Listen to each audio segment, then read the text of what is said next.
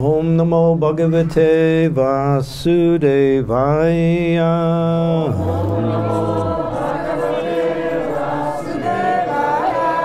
Om Namo Bhagavate Vasudevaya.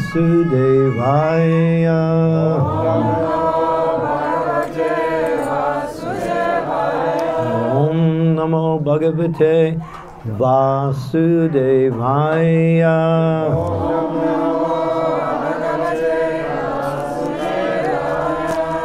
So this is verses from the Srimad Bhagavatam, 6th canto, chapter 19, verse number 5. And I'll read the verse in Sanskrit and then translation.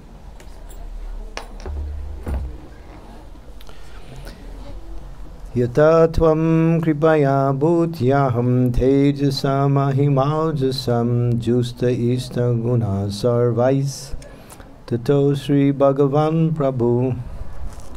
Hmm.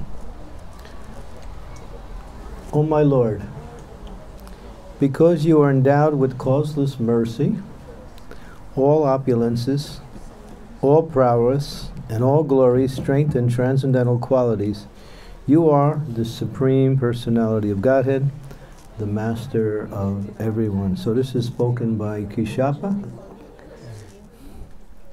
I'll read the purport. I'll read the verse again. O my Lord, please repeat. O my Lord, because you are endowed with causeless mercy, all opulences, all prowess, and all glories, strength, and transcendental qualities. You are the Supreme Personality of Godhead. You are the Supreme Personality of God. The Master of everyone. The Master of everyone. In this verse, the word Tato Sri Bhagavan Prabhu mean, therefore you are the Supreme Personality of Godhead, the Master of everyone. Jai Jagannath Baladev Subhadra Maharani Ki Jai. Jai. The Supreme Personality of Godhead is endowed with all six opulences in full. And moreover, he is extremely kind to his devotee. Hmm, so note that point. He is extremely kind to his devotee. Although he is full in himself, he nonetheless wants all living entities to surrender unto him so they may engage in his service. Thus he becomes satisfied. Although he is full in himself, he nonetheless becomes pleased when his devotees offer him patram pushpam phalam toyam, a leaf, flower, fruit, or water in devotion. Sometimes the Lord, as the child of his mother Yasoda, requests his devotee for some food, as if he were very hungry. Sometimes he tells the devotee in a dream that his temple and his garden are now very old and that he cannot enjoy them very nicely. Mm, get a new temple. Yeah. That's on the, that's on the uh, future program. Mm. Thus, he requests the devotee to repair them.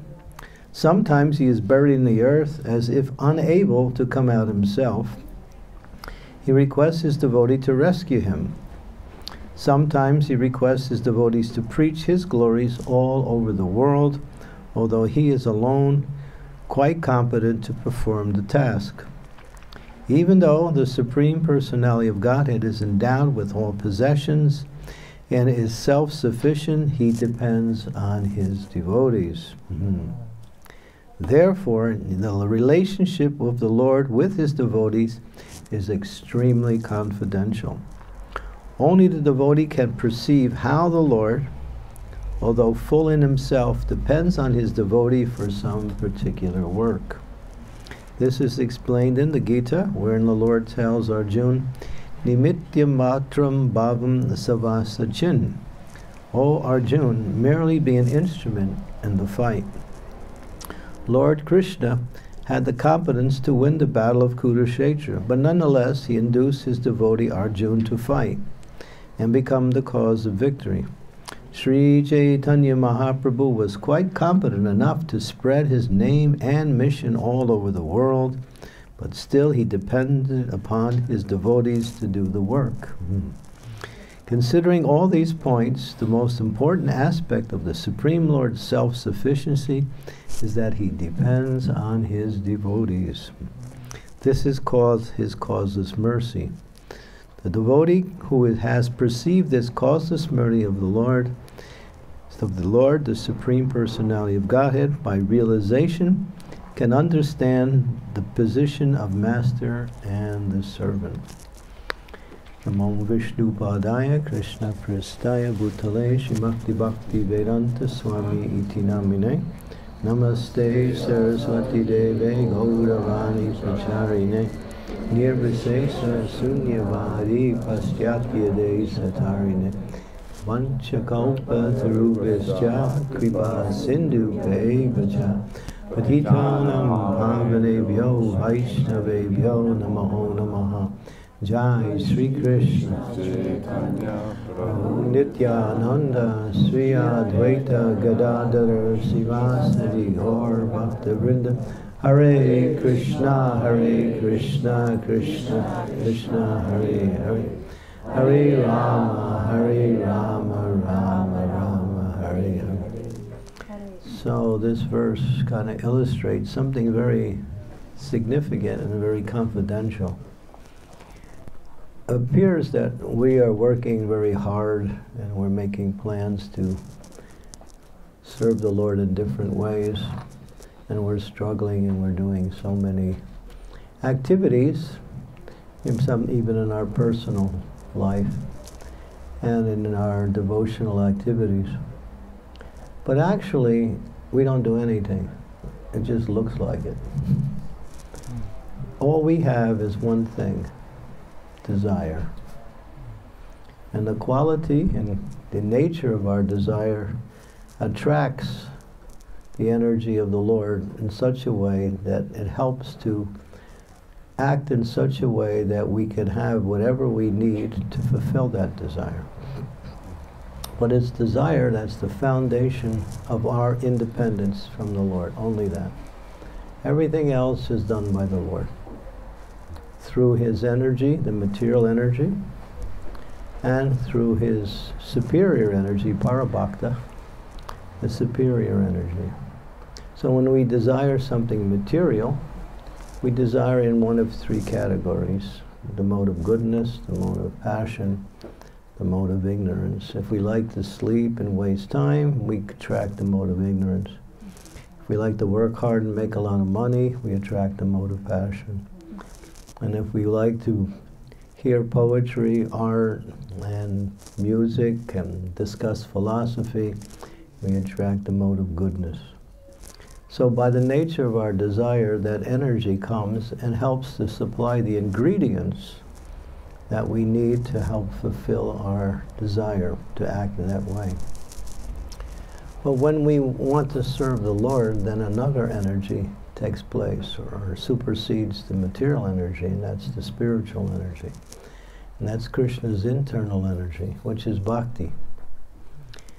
So, and even the activities we perform in the relationship to Krishna, bhakti yoga or devotional service, he gives the intelligence, he gives the ingredients, he gives the facility, and most important, he gives the result. This is Krishna. And he says in the Bhagavad Gita, Sarvasya Jaham Vridisani Visto, Matat Smirtir Jnanam Apohanam Cha. If you want remembrance, you want to remember me, I help you. If you want to forget me, I help you, I help you in that way also. And if you want knowledge about me, then that also comes from me. So there is two kinds of causes. There is the apparent cause and the remote cause. And Krishna is the remote cause. you can't see him. and sometimes you can't even perceive how he does things. But still, behind all of his energies, he's moving those energies. Parasya Shakti Vidahaya Suyate Svabhavika Jnana Kriya Cha. He's simply tries to fulfill our desires by desiring in a certain way, and then these energies help to make things work, and they work perfectly under his control.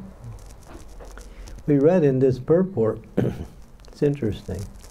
It says that uh, if Krishna wants, he can spread Krishna consciousness all over the world. He can do it. He doesn't need us. but he wants us because he wants to give us the credit. And giving us the credit means we get purified. And getting purified is what he wants us to, to do in order for us to develop that relationship with him. So you'll see in that one statement, and they asked Srila Prabhupada, you know, Prabhupada, you know, Sri Chaitanya Mahaprabhu was in India and he was preaching all over the Indian subcontinent. He traveled all the way from Jagannath Puri down to the eastern side, all the way down to Cape Comorin, back up. When, when he got to Mumbai, he crossed over and went back to Jagannath Puri. Took him six years, and he made millions of people Krishna conscious by spreading the Harinam Sankirtan. And there's, uh, there's at least 29 places where they have established Lord Chaitanya's footprint. So practically, when he was there, he made the whole area of India Krishna conscious. So the question came to Prabhupada, well, you know, why did he stop there? Why not continue and just make the whole world Krishna conscious? And Prabhupada said he left it for me to do and us. so this is our this is how Krishna works. He's fully competent, as this verse says, and fully empowered to do everything and any, anything. But he puts himself under the care of his devotees, and he depends on his devotees. And he gives everything the devotee needs to carry out their service and to awaken the knowledge they need so they can come to him in devotion. This is Krishna. We can't see it, but it's happening. uh, sometimes you can see it. Just like, not this year, but last year in Jagannath Rath Yatra in Jagannath Puri, there was a huge rainstorm. And this one, the carts, they had the three carts, Baladev, Subhadra, Jagannath, and they had reached the end of the Rath, right in front of the Gundicha temple. From the Jagannath temple, 2.3 kilometers down the road, chanting, dancing, the, the deities had reached. And then they parked the carts there.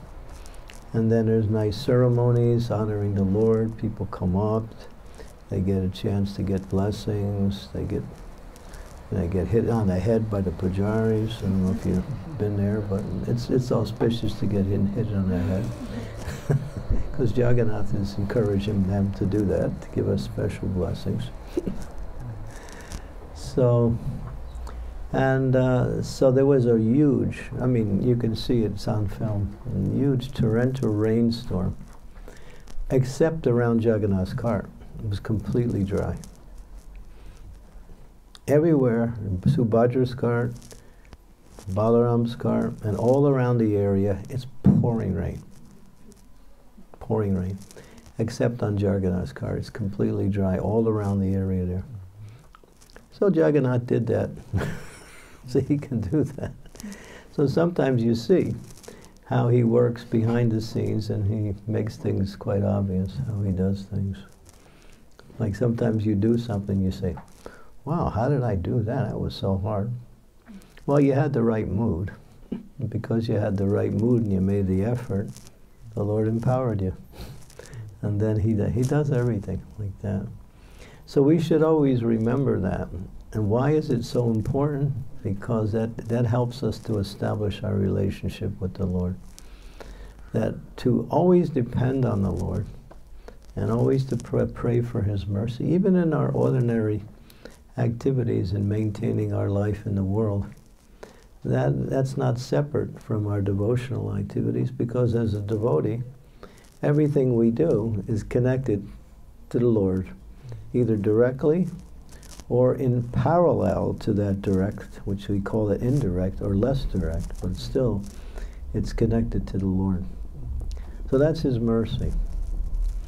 So He does And even when he was here, he illustrated that. There's one beautiful pastime when Krishna came to Dwarka and he had a meeting with some of the elders in Dwarka and Yudhisthira Maharaj was there and the, the war had just completed. The, the Pandavas were victorious. Yudhisthira was now about to go on to the throne but before he could do that, they had to perform the Rajasuya sacrifice, which would consummate or actually make it official that Yudhisthira was actually the king of the world. And it's a big ceremony, it takes two years to do, it takes millions and millions and millions of euros, dollars, marks. it's a lot of money. And so Krishna's there, and now they're uh, they're planning. So while he's in the meeting, he's presiding, Krishna, and his uh, assistant uh, Uddhava, which is also his dear devotee, and is also he's a cousin of Krishna because Uddhava's father is Vasu is Vasudev's brother. So Vasudev's brother and his father um, Vasudeva and his brother are brothers, and Krishna is the son of one, and Uddhava is the son of another, so they're cousins. And so, uh, the meeting is going on, and then a messenger comes to the door, and he's quite distraught. He's in a, a very anxious, and he has a, a message He's stopped by the guard at the door, and the guard checks him out, checks him out to see what he's here for. He reads the message, then he alerts Krishna. He says, Krishna, there's a messenger here, and it seems like there's a very important message. So Krishna said, All right, have him read the message.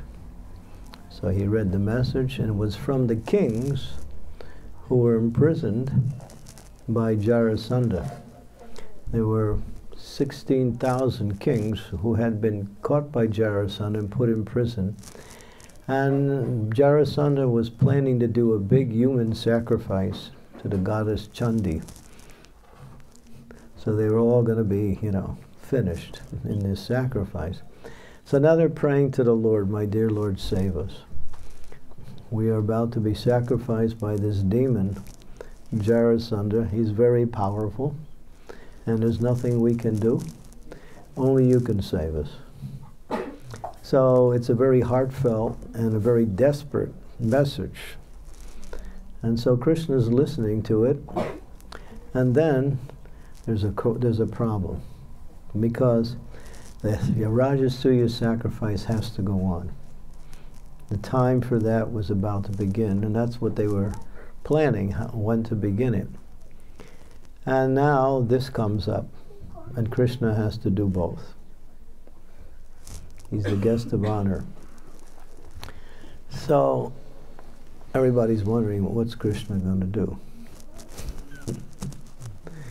and so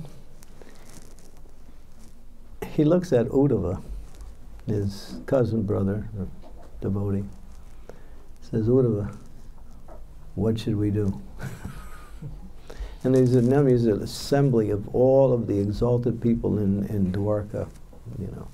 Many of Krishna's family members, many of the soldiers in the Yadu dynasty, King Yudhisthira. It's a very you know, auspicious, very august assembly, very powerful.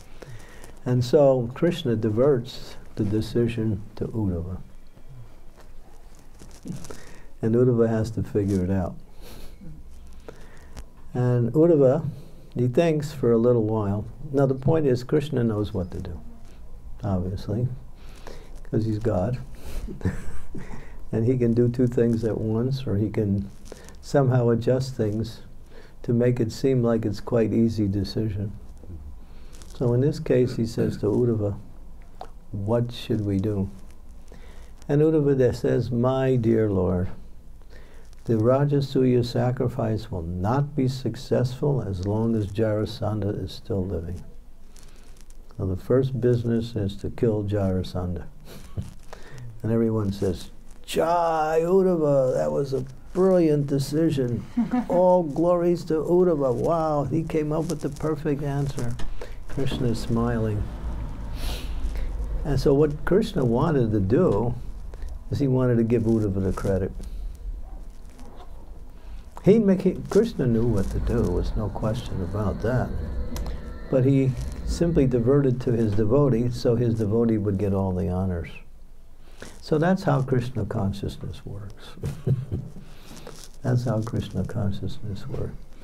What can we do? we can simply try. And we can also pray.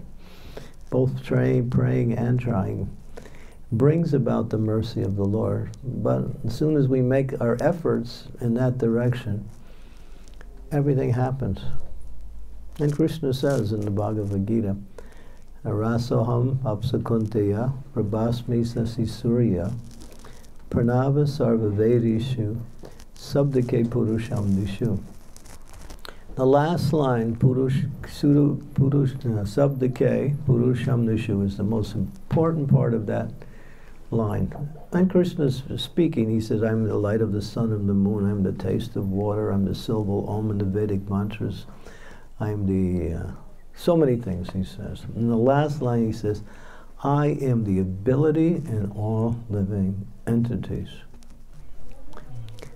So he ultimately is the, the feature of success in everything we do simply depending on Krishna. Well, sometimes we say, well, I depended on Krishna. I worked so hard and it didn't come out the way I wanted to. That means it came out the way he wanted it. Because there's always that element that if we think we're perfect and our idea of what is the result not necessarily will be the best result. Because we, we see that sometimes. We don't know what to do. We make a decision and sometimes Krishna allows us to make a mistake so we can learn from the mistake. But when you depend on Him, and Prabhupada said that, said that, he said, if you never, if you will never, this is the exact quote, you will never be blocked, impeded, he uses the word impeded, in your spiritual practice if you remember the lotus feet of the Lord. That's the, that is the principle of all success in devotional service. And of course, we hear that Krishna says, you know, always remember me. Satatam kirtayanto man, always glorify me. By always keeping our consciousness on Krishna, you might say, well, that's not so easy. It's not. but if you practice, it becomes easy. And if you pray to Krishna, my dear Lord, I keep forgetting you. Let me remember you. Give me the understanding by which I can remember you. And sometimes Krishna sees that he has to do something in your life to wake you up. and you might be a little bit different than what you expect. it's just like, you know, he puts you in a circumstance that there's no other choice but him. like I preach in jails. This is one of my major, this is my focus mostly in in the UK and also in uh, in the United States. And we find that many of the persons, not many, but some many of the persons we preach to, they're thankful they, they went to jail because it would have never came to Krishna consciousness if they didn't they, they said, because I'm in this position, I met the devotees, because I met the devotees, now I'm, I, I can practice Krishna consciousness. They're happy. They feel like their life is now has meaning again. Yeah. So, you know, circumstances don't usually illustrate what is success or failure. How we accept it is what, what is success or failure and accepting everything as the mercy of the Lord. But still, we have to try and we have to remember Krishna. Nothing happens by chance. Like Prabhupada was talking about this point that this word chance is a word you should take it out and throw it. Doesn't mean anything. Chance means I don't know. So one devotee was saying to Prabhupada, yeah, if no, nothing happens by chance, he said, I was in the shower this morning, and the shower piece broke from the top and hit me in the head. Hmm. Chance. Prabhupada said, no, because you're a rascal. it happened. no chance.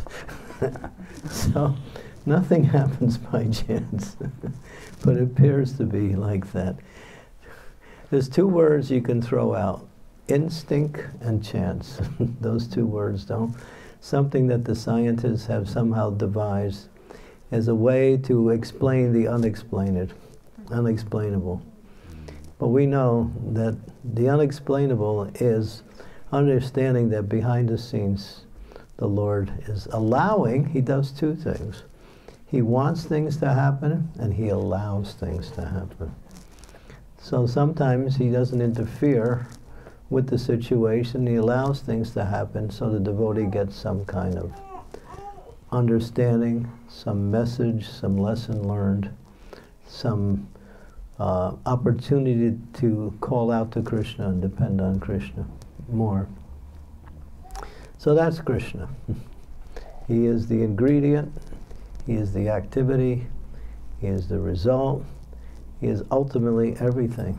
And he comes in his deity form, Jagannath Baladev Subhadra Sisi Gaur Nitai, in such a beautiful way to open our hearts simply by seeing the, these beautiful manifestations of the Lord, and He gives us a chance to serve. He doesn't need nothing, He simply serves. Just like there was this story in uh, uh, a little incident in our temple in. Uh, in near the Mayapur area, there's a Jagannath deity there. It's in Rajapur, I think it's called. There Jagannath, Baladev, Subhadra deities, and devotees in ISKCON have somehow taken over that, that worship.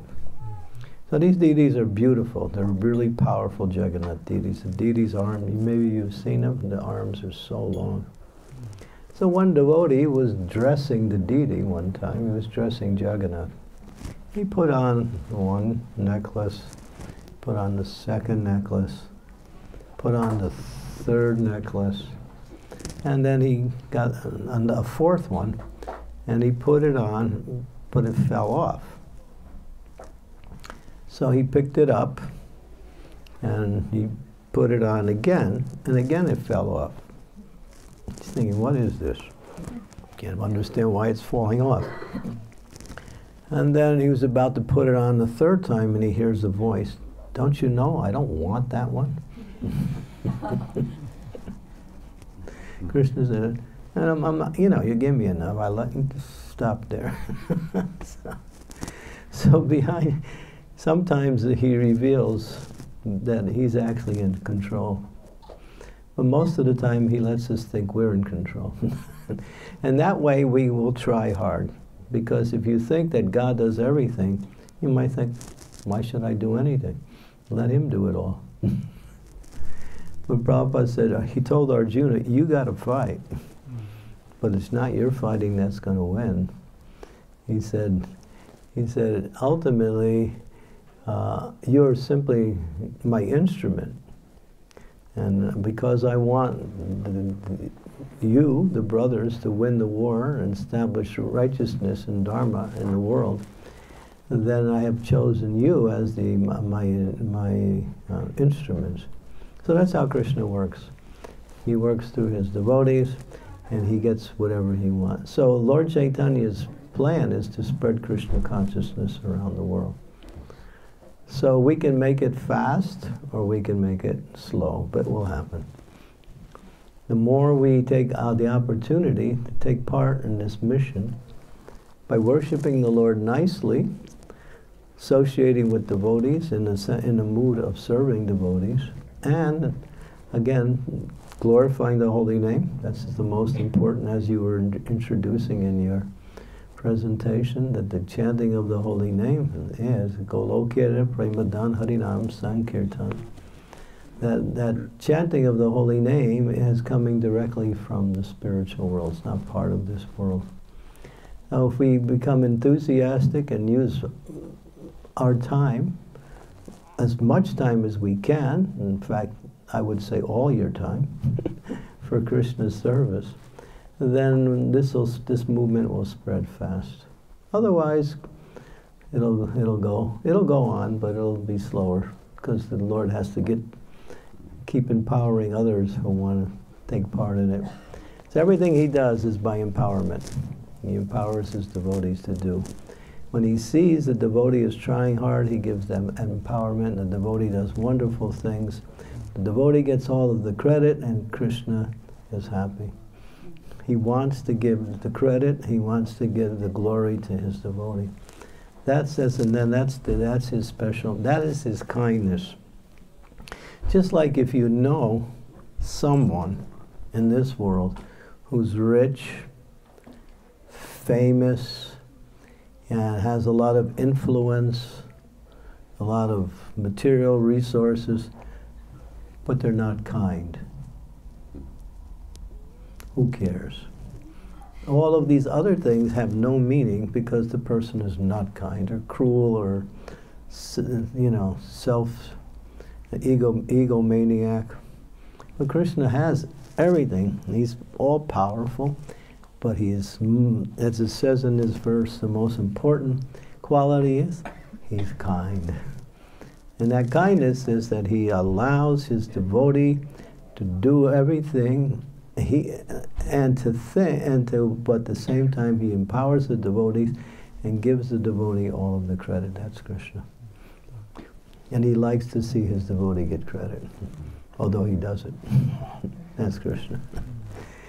So there's nobody better to worship than Krishna. And when Krishna comes in the form of Jagannath, he is especially merciful. He's very personal just like we had the Ratha Yatra yesterday. He, he, comes out of his temple just to give his mercy, his darshan, to the conditioned souls who would never, many of them would never come into a temple or even think about it. And if they see, if they just see the Lord riding on his Ratha cart, they're guaranteed another uh, human birth in the next life, just by seeing that. Uh, that's his mercy. So, out of all the qualities of the Lord, He is most kind and most merciful. That's the most outstanding quality. Hmm. Especially with Jagannath. very personal. Very, very personal. Mm.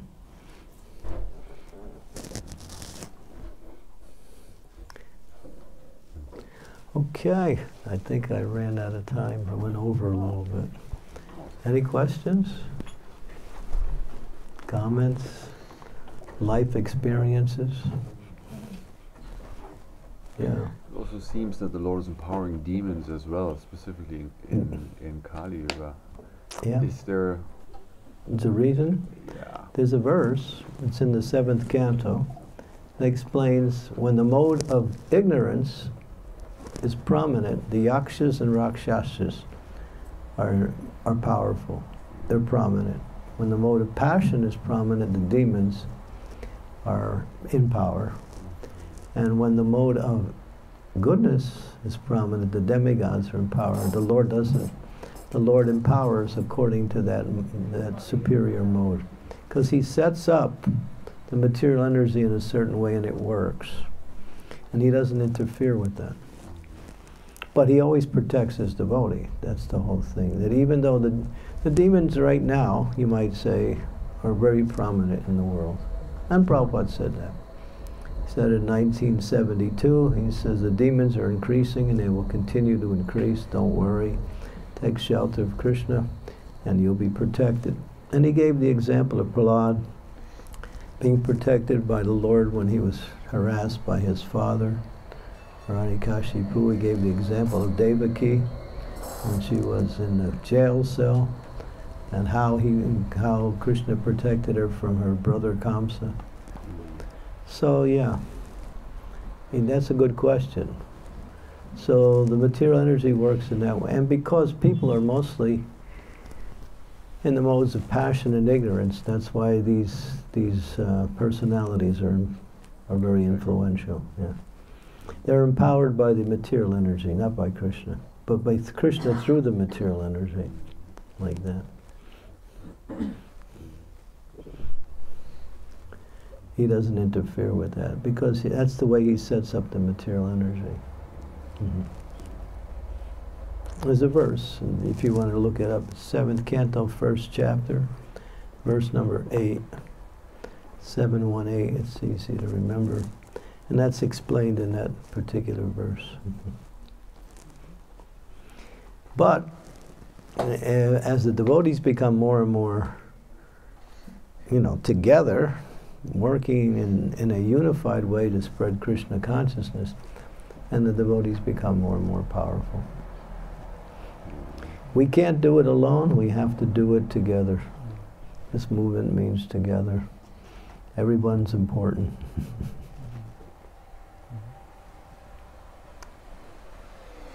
Everyone.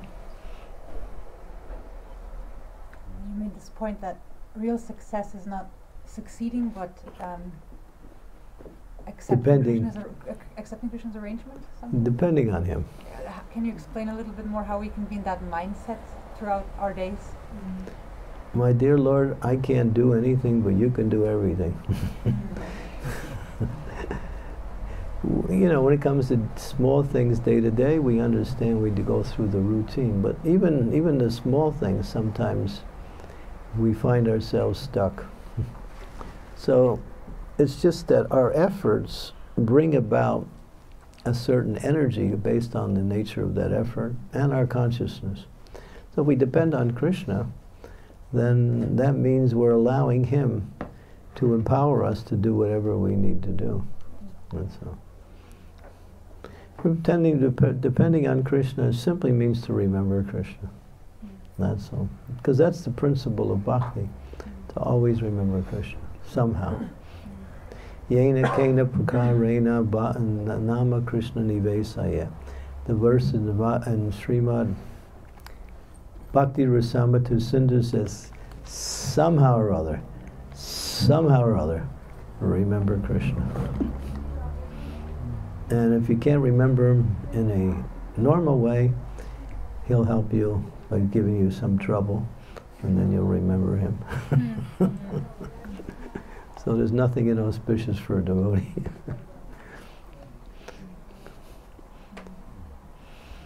okay, yeah, depending on him, that's what it. Thank you.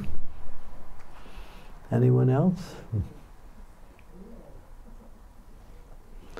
Okay, so we can do a little kirtan. Is that all right? Did everyone have prasadam? No, not yet. Some, some yes, some no. Mm-hmm. Okay, pretty good.